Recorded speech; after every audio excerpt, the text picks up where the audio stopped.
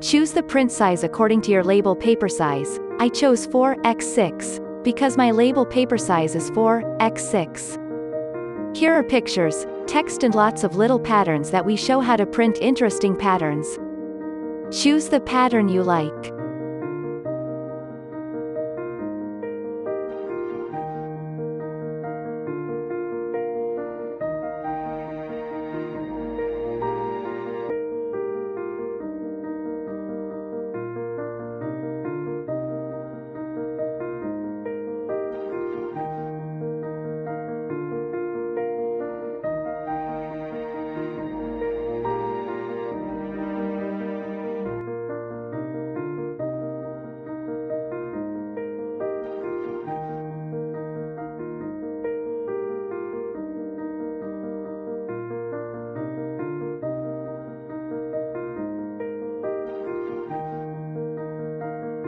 Select PDF printing for clearer printing.